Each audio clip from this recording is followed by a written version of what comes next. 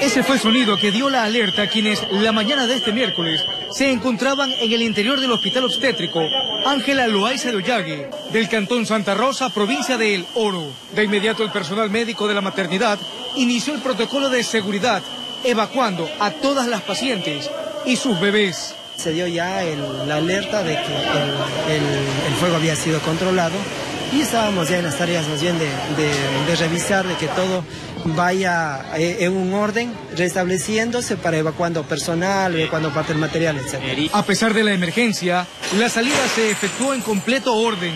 Las mujeres que habían cumplido sus labores de parto dejaron la maternidad aún con sueros en sus extremidades y sus hijos en termocunas. No, no, registramos pacientes complicados, fueron todos eh, referidos a otras casas asistenciales, se activó nuestro plan de contingencia.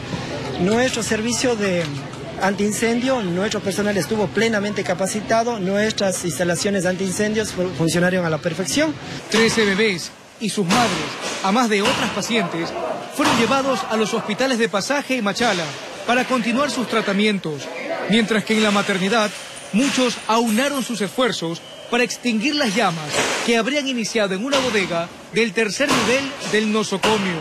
Afortunadamente, lo que se inició desde, desde el primer minuto sirvió porque eso hubiese sido catastrófico. Tras la evacuación, el incendio fue controlado rápidamente por los bomberos.